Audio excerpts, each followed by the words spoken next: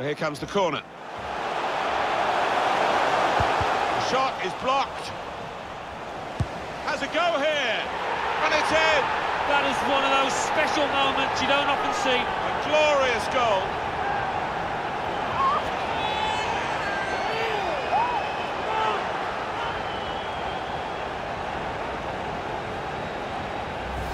He's put all his bulk behind this one. Well, you cannot give that player that much room, that distance out. That is what the fans love to see. A goal hit like that.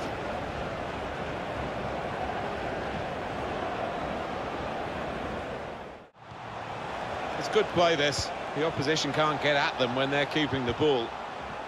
Got the ball now under control and a chance to move themselves forward, get up the pitch. So easy in possession. He's one-on-one with the goalkeeper. Has to be! Goal! They lead by two now. Took the chance nicely, and that really has given them much more of a basis for the rest of this match.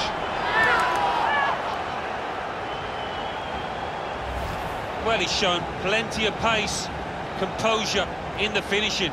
It's a fine individual goal. It's normally good from these set plays, and uh, his teammates are expecting a good ball in. It's not really away, poor clearance. Aiming at the near post here with the cross. Could have done better with the cross into the goalkeeper's reach. A goal from uh, Wickham. It's a goal for Sunderland. For Threading it through. Now just to keep it a beat. Oh, it's a great goal!